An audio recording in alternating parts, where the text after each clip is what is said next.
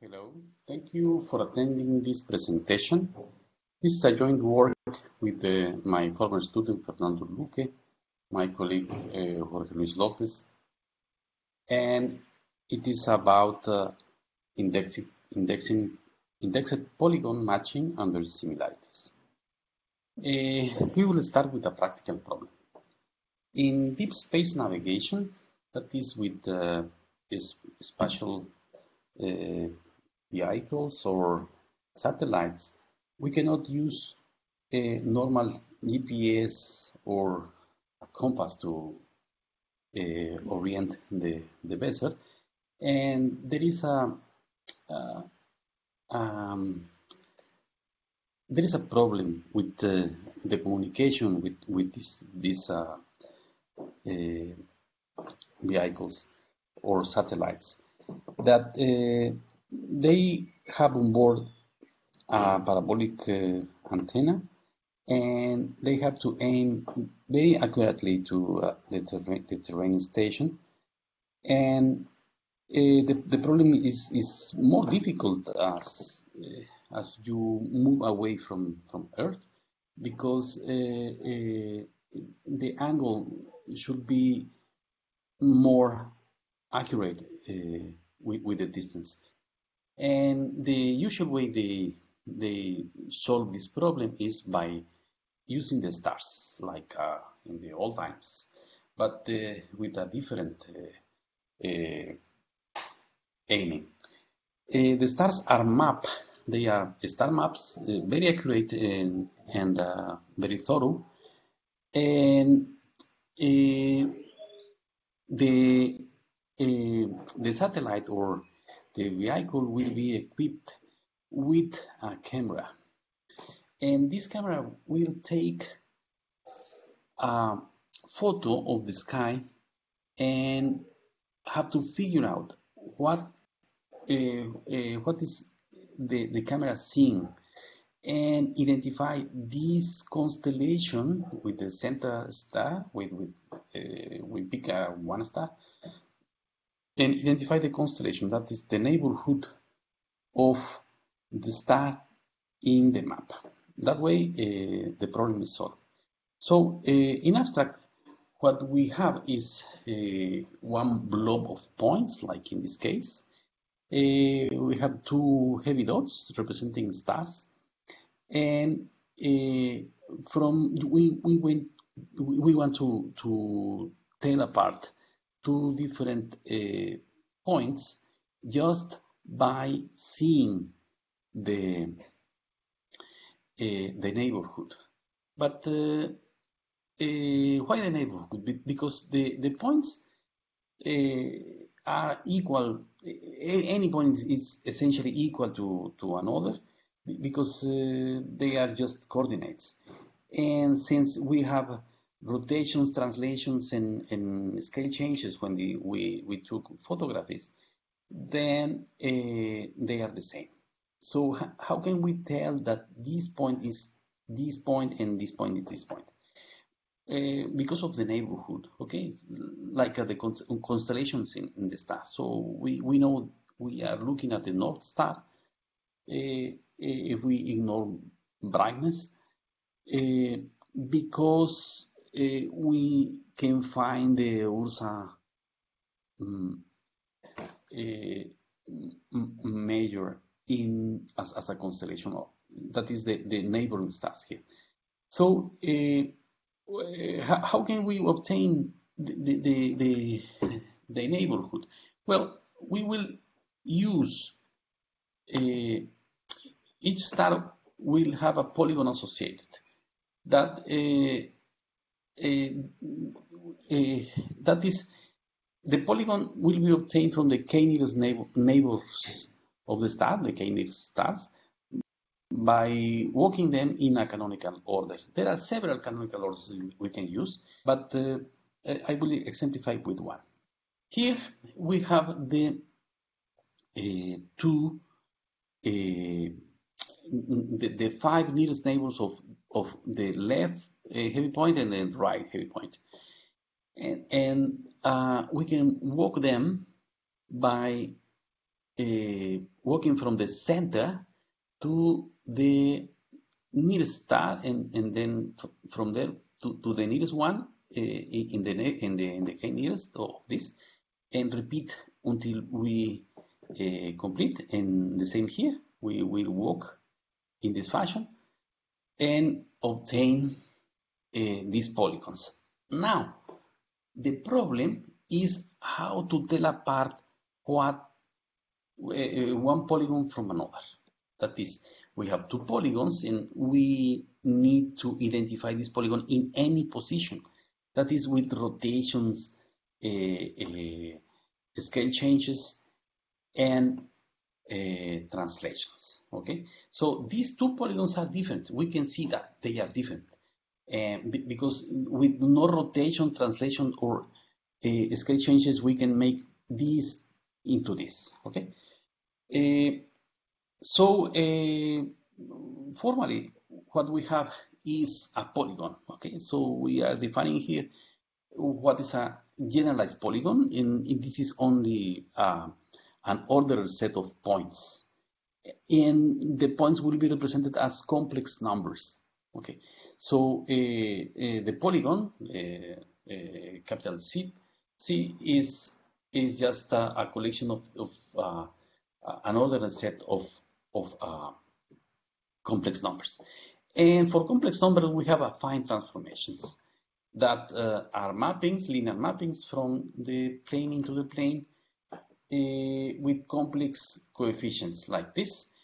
And similarities are just affine transformations with the beta, the, the beta e, e, equal to zero.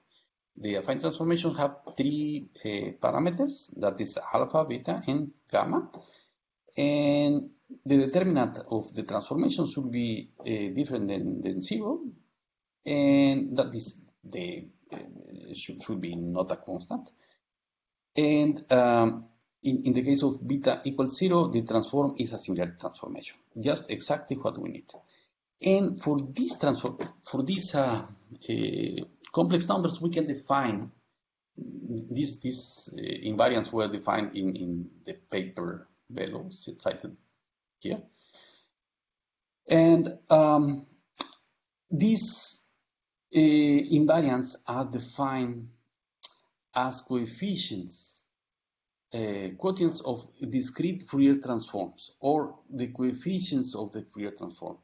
This is this is one of the terms, the jth, the jth term of the discrete Fourier transform, and this is the jth term of the inverse discrete Fourier transform. So we have a, a, we will compute the, the Fourier transform of the this set order set of, of complex numbers and just take uh, the two transforms here okay? The, the, the, direct and inverse Fourier transforms and, and the quotient will be the um, the invariant. Why is it invariant? Well it's uh, it, it can be just using elementary elementary uh, properties of the of the nth root of the unity, we can essentially that if we sum uh, all the nth roots of unity, we will obtain zero. Okay, so uh, uh, they will be invariant on, under the action of similarities. Okay, uh, the, the, meaning of this is, is uh, quite intuitive. Uh, here we have four examples of the same polygon under the action of uh, similarities. Uh, I mean, if you rotate and translate and change the scale of any one of these, you obtain any one of those. Okay, so if we apply phi here, we will we will obtain exactly the same point. Okay, exactly the same that is, uh, uh, Eh, we can identify eh, the polygons in any position and at any scale and anywhere in the in the, in the plane.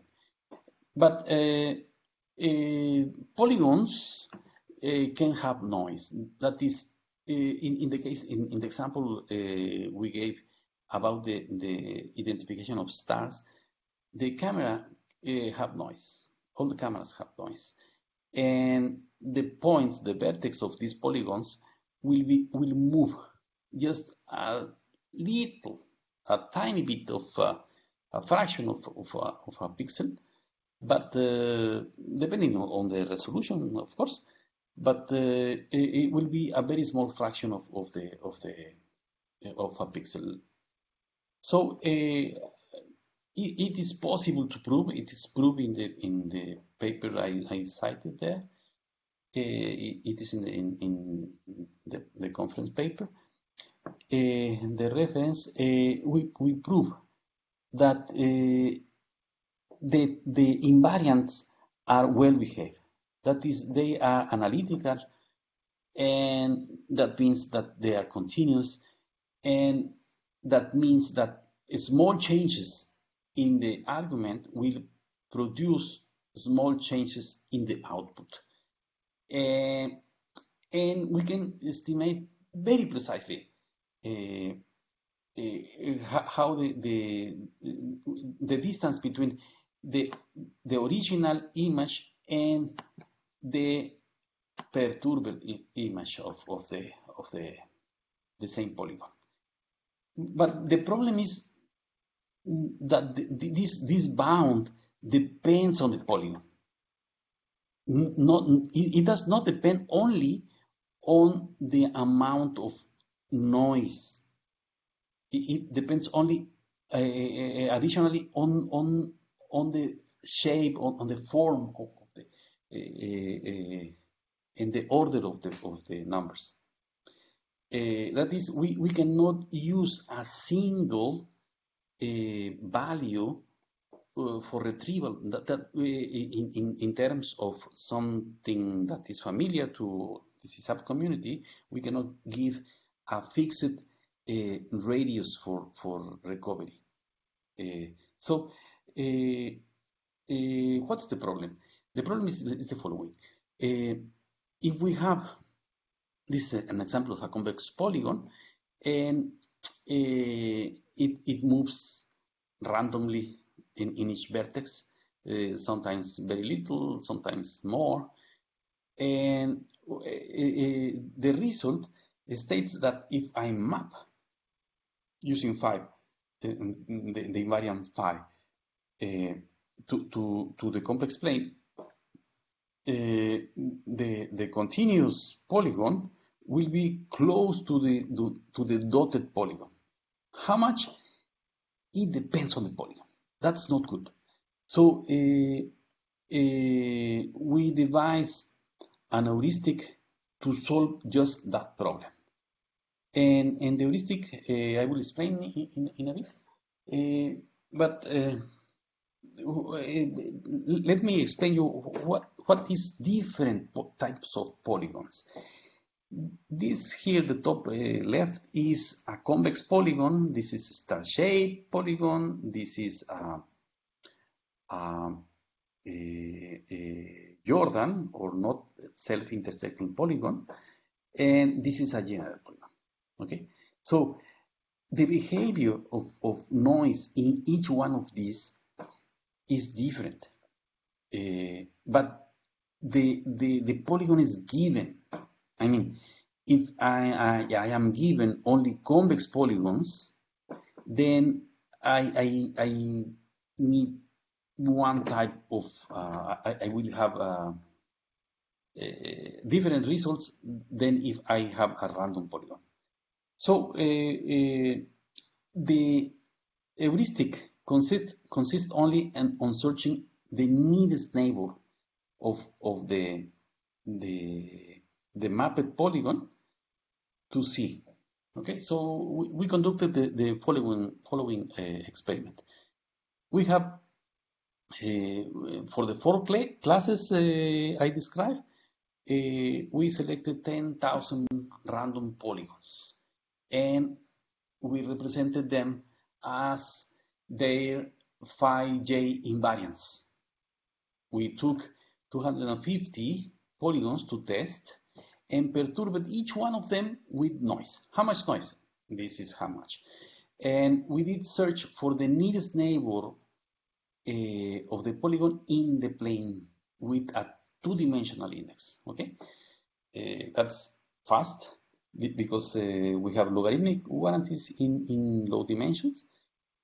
And if we apply, we apply this heuristic, this heuristic here, we can we can retrieve, retrieve uh, convex polygons with up to two or three pixels of noise. Okay, more noise uh, is not good because uh, we will retrieve only 30% or something like that of, of the of the queries. But uh, in our application, the, the application I, I, I described, uh, one pixel is, is enough. Two pixels is, is a lot, and three pixels is, is just as much. So uh, uh, that problem is solved essentially with, with, with, with this approach. But uh, uh, what about the star shapes, star shaped polygons? Uh, they are much more resistant to noise, and we can have uh, like seven pixels of noise here uh, with, with the heuristic. And this gets, oh, sorry, uh, this this is not Jordan, just the star-shaped polygons. Uh, but uh, I'm sorry, but this is the, the fourth time I tape this this talk, so bear with me with this. Uh, uh, this is okay, Jordan, Jordan. And in, in this experiment, the, the Jordan uh, polygons uh, are much more resistant to, to noise, up to, say, 12 pixels. And for random polygons, we have a lot of resistance to noise. Okay, so like 20 pixels is will be okay. And even with 25 pixels, we retrieve 90% of the of the points. Okay, so the problem the, the problem is again that we are given the, the polygons are given. So what happens if the particular problem gives me a convex polygon? So the, the solution is, is quite trivial after you, you see it. And it is to apply a, a random permutation to the polygon.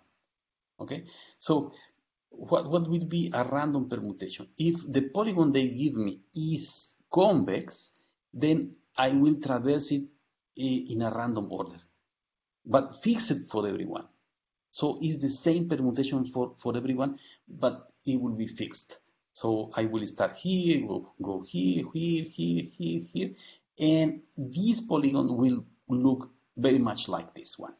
Okay, so uh, after this fixed, uh, the, the recall we obtain is essentially the same as the random polygons, about 20, 25 uh, uh, pieces. This is essentially this, this one. So